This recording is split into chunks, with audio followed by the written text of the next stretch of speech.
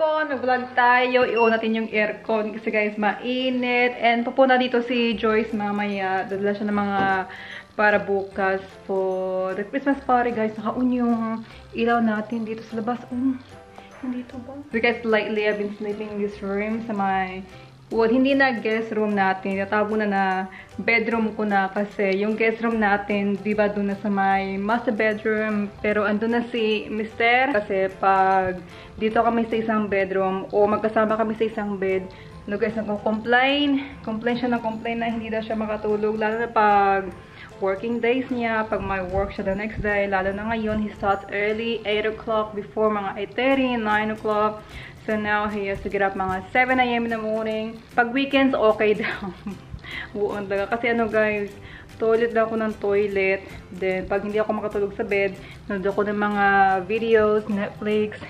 So yun, nagko-complain siya na gising, pag gising ako, gising din siya. Inoon natin yung ilaw the whole night pag nasa bed tayo. Kasi ang dilim ng bahay. Pag nag-toilet ako ba, yung ang dilim guys, alam mo na, like things na you don't wanna see, parang, di ba parang may mga shadow, may mga shape-shape, so, basta guys, you don't wanna see aswang. Wala namang aswang dito, parang alam mo yun, parang nasa, ano mo na, parang mentality, like you see things, pero wala naman, parang, basta guys, So, yun. So, in-on ko yung ilaw dyan. Gusto ko sa bumili ng maliit na ilaw. So, mayroon kami nito sa hallway. Before, sabi ko kay Mr. Anong purpose yan? Bakit andyan yung sa may hallway? Yun pala, ano, ang dilim guys. Pag nagtutoilet, sobrang dilim dito, oh. Ayan, dito rin. So, in-on ko yung ilaw doon kasi para maliwanag ba. Siguro bibili ako ng maliit na, ano, na ilaw. Lagay ko dyan. Yan. So, pag nag-toilet, hindi madilim. Kasi kina-close ni Mr. yung mga pintuan. Dito. And then, dito sa may kwarto. Na-close yan. Dito rin. Close lahat. And then, dito madilim sa may isang lounge natin. Kunin ko lang yung map natin dito sa may bathtub. Yan, dito. So, dito ko nilagay. Kasi, yung laundry natin sa guys. Ang daming mga kailangan labhan. Hindi ako naglaba for ano na, siguro mga 2 weeks na si Mr. yung naglalaba ng mga damit niya. Kasi kailangan niya sa work. So, hindi ako naglaba. Yung iba nilaban niya rin yung mga, ano ko, yung mga damit ko. Yun, ang tambak dyan. Kasi dito puno eh. Kasi isang kurtina, ito yung kurtina sa isang kwarto. Kailangan to ilabhan para magamit namin sa, ano ba, sa isang kwarto one day. Yan guys. Dito guys, sa book before. Yan. Kasi merong mga damit na binigay si Joyce para ipapadala sa Philippines.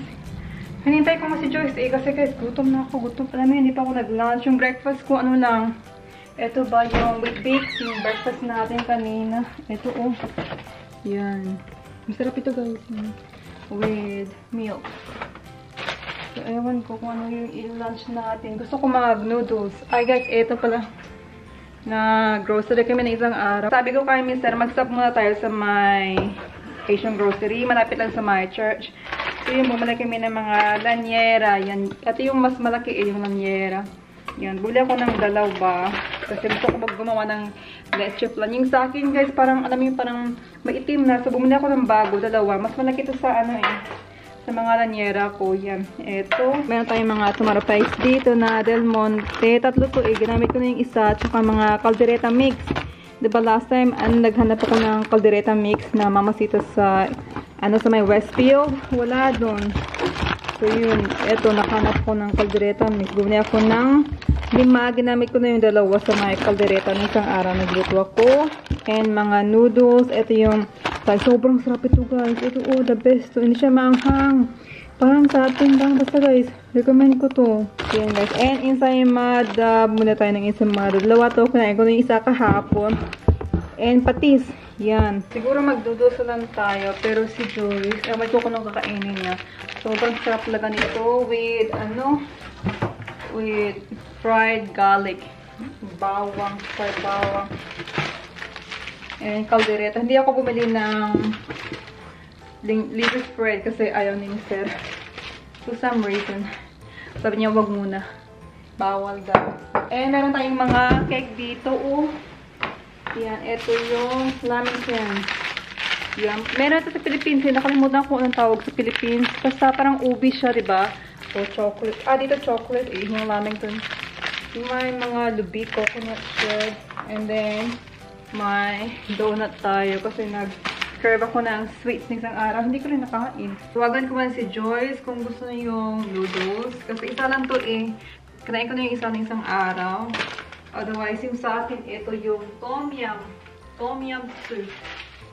Yan, ito. Bumili kami kahapon. Tatlo. Ito, oh. Yan. So, tawagan ko muna. Kasi baka ayaw yung noodles eh.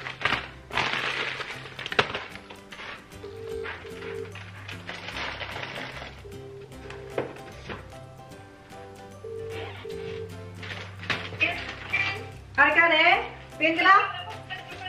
Buang yung... Ano? Ano ito sa nun? Kaya maluto ko yung noodles. Gusto mo noodles? Pwede mo naman. Pwede man. Sige ah. Gusto mo boiled egg. Anong noodles na? Basta namin, isa pa namin, ay, kaya namin ko. Hindi isa makanga. Kaya isiparate ko ako, kaya ako makanga, kaya isa na nabilin. Oo, ka? Pero gusto mo, ano, boiled egg? Spaghetti? Oo. Oh, sige, sige. Kaya may isa, may isa madam ko, kaya gusto mo spring rolls, nabili pa spring rolls, i-fried ko. Oh, sige. Ah, Sige. Sige, sige, sige, sige ka. Eh, tawag ka lang para mabilihan ko ang pagtan. So, sige na. Bye. Ano nga? Okay. Okay, guys. So, okay daw ka, Joyce. Ito. Kasi ito maanghang eh. I don't know if you like some spicy food. So, ito na yung sa kanya. I-separate ko na lang.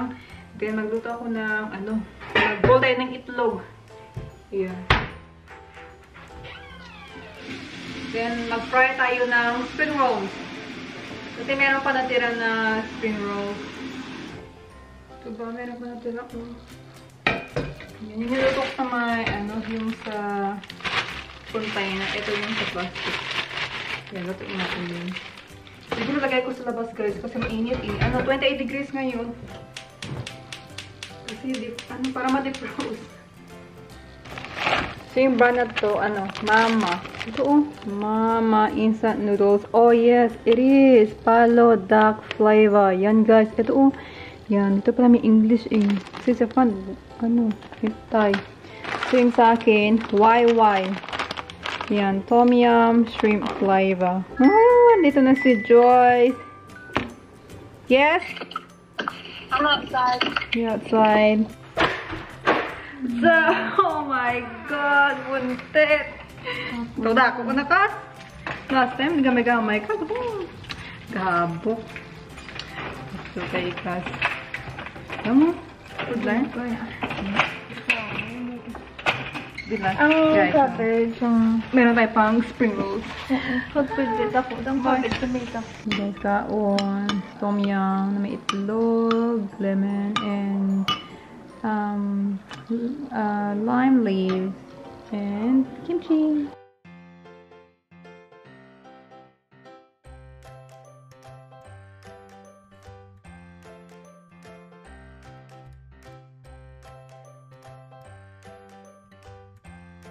Na-defrost yung spring rolls natin. Yan. And gagawa kami ng spring rolls ni Joyce. Yan, ito.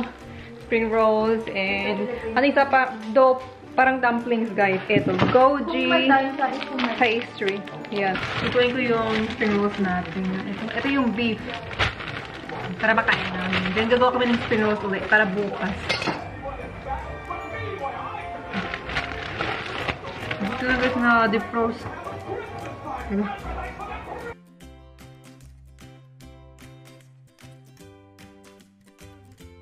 Guys, ang aton nga taga-slice ang sibuyas, bawang, isang carrot. Nag-shade, guys. Kasi ano, yung bawang ba ay yung sibuyas. Guys, kinapa yung umiiyak. So, nag-shade na lang. Para hindi halata. Ito na yung spring rolls natin. Yan. Ito, oh. Yan. Spring rolls. Yan. Merienda. Pamakaw sa hapon. Oh. Guys, lagyan namin ng cabbage yung spring rolls natin. Parang same recipe. Pero yung meat namin, pork, ano sa labas guys, para ma-defrost. Hmm. Magkaginam lang yun, ano, agi pa ba? Oo. Guwapo. Nakalipat ko lang ang ang night shift ko. Night shift. Kasi guys, nag-work pa si Joyce kagabi. Night shift. Soy sauce, pagkitamba mo. Oo, soy sauce. Hindi pag magkamay lang na, ano, kaya kung, kaya kung batangan mo soy sauce, kapag gamay lang ang soy. Pero, Si Buntet, umiiyak! Huwag ka umiiyak, Buntet! Sabi ko sa'yo eh. Kaya ginabalan ko sa, ano, ginabalan. Kasi sinabihan ko na kunin yung face shield niya sa, sa car, o yung eye shield niya. face shield niya. Ano, guys, ano, they use face shield now. Kasi grabe na yung cases dito sa Adelaide. So, lagyan namin ng cheese, yung spring rolls. Kasi, huwag kang umiyak. Spring rolls lang to. So, ready na yung spring rolls natin. Na-defrost na. Thanks to Mr. Guys, How do you defrost it? sa microwave. You put it, you put it outside. So, itry namin yung dalawa kung okay yung lasa ng meat. So, magdulo na kami yung dalawa.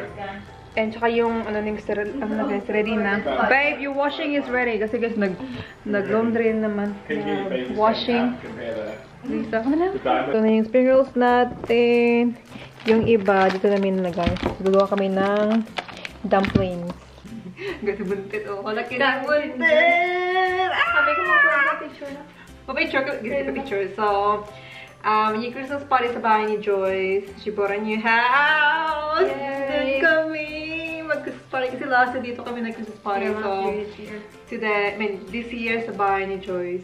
They bought a house a few months ago. And we Pool party. Pool party. And with the baby.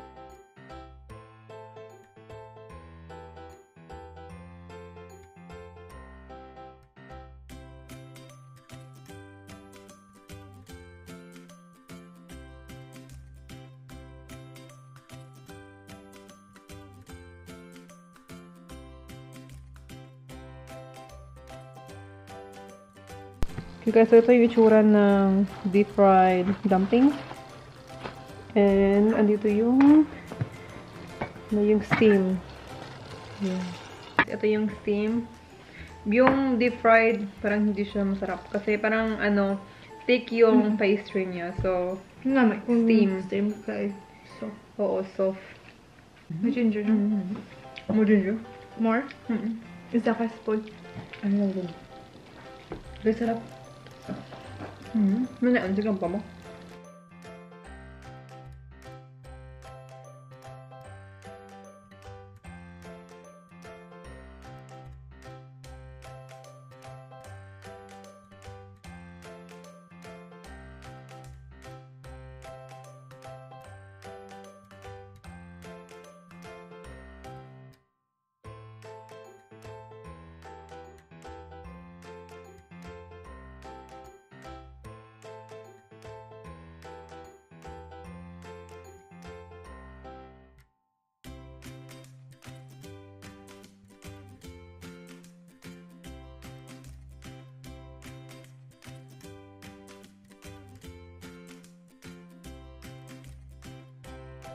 Tapos na yung dumplings namin. Ito, dalawang layer. And then, ito yung spring rolls. And now we're making the triangle spring rolls.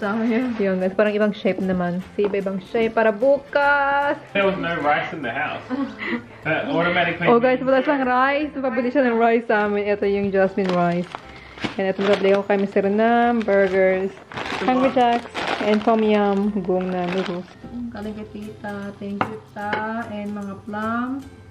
Kay tita. Sa puno. Magkatena. Nood kami ng movie Strange Magic sa Disney. Alis na si Joyce. Kasi gabi na 10 o'clock. It's gonna be a big day tomorrow with the family. Bye guys. Sa bahay ni Joyce. Doon tayo. Punta lang kami uling buwan. Sige, barbecue. Hindi ko pwede magano. Kaya mainit lang ang. So it's all mainit. So we Bye! That? Oh, ang uling guys. Hi. Ang uling, oh! Ang uling. Kita niyo sa masakyan. Kasi kailangan ng uling para bukas po the barbecue. So, punta tayo sa bahay ni Joyce. Nakapunta kami doon before a few times na. So guys, I'm very proud to make a Joyce kasi they bought a new house. May swimming pool. Guys, ang laki ng bahay. As in, grabe. Alam mo yun, yung yung land, yung lupa mas malaki pa dito. As in guys, sobrang laki ng lupa niya. Mga 800 plus square meters. So yung sa kanya, 800 plus, plus Yung sa likod, may swimming pool. Basta kasi ang ganda. Parang nasa ano ka, parang nasa... Kasi yung mga tropical ganyan kasi yung swimming pool, alam yung mga puno, yung mga palm trees. So, very Joy. Guys, so magbigyan ako ng pictures ng bahay niya and yung swimming pool and sa loob ng bahay. Then tomorrow, maybe, yes, we can vlog dun. Matulog na yung gas kasi 10 o'clock na. So, yun guys. So, nakalimutan ni Jules dalhin yung mga spring rolls. Spring rolls! And dumplings! They're all in the fridge. Yung dinala niya, yung ano, yung bugas. Yung rice. Tsaka yung uling. Nice. That's okay. I think she can pick him up tomorrow.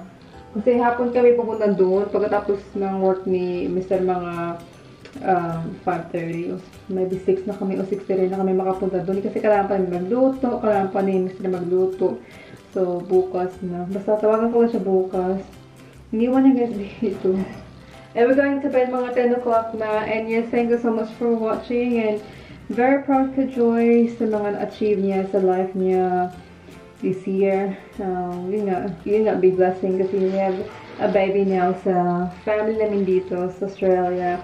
And we're all very happy and proud sa side ni James, very proud of them as a couple. And then sa side ko in the Philippines, all my family, they're very proud of them na nakabili sila ng bahay. Alam mo yun, at least settling na sila ni James. Alam mo na, hindi na sila nag-rent ng bahay, hindi na si Joyce pa-drive, drive doon. So at least, alam yun na they have their own house. Happy lang, happy and proud. Kasi at the end of this year, ang dami mga blessings na na-receive namin. Kami rin ni Mr. and, and kay Choice. Kasi kung wala man yung mga pinaghirapan namin, yung mga experience natin in the past, wala rin ito. Lahat yun guys, lahat-lahat yun pinaghirapan namin na patience lang talaga. Patience, work hard, educate yourself, and just be grateful for what you have in life. And just just be happy. Be happy be grateful. So we're gonna close the vlog and we'll see you guys in mga next vlog natin. And we'll see you sa bahay ni Joyce. So yeah so pakita ko lang yung pictures sa inyo. Nag-vlog ako doon pero hindi ko pa na upload meron tayong mga vlogs kaya lang, yun nga, walang time mag-edit kasi we've been so busy and I've been really sick. So, yun kaya hindi ako nakapag-daily vlogmas like before. Pero, that's okay. And, we'll try our best. Pasensya pag wala mga vlogs. So, yun guys. So, good night and we'll see you soon. Good night. Bye-bye.